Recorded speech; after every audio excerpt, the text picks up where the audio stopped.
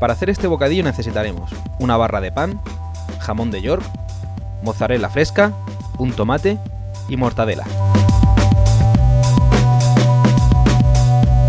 Comenzaremos cortando el pan y abriéndolo por la mitad.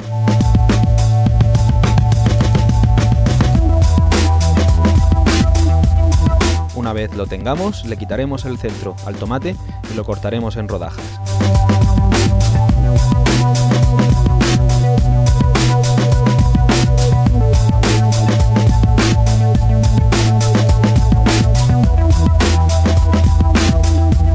Una vez hayamos hecho todo esto, echaremos un poco de aceite en el pan, pondremos las rodajas de tomate encima y salpimentaremos.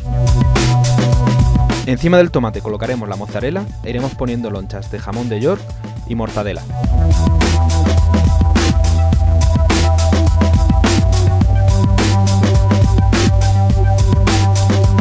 Ponemos toda la cantidad de ingredientes que queramos a nuestro gusto, cerramos el bocadillo, lo cortamos por la mitad y a comer.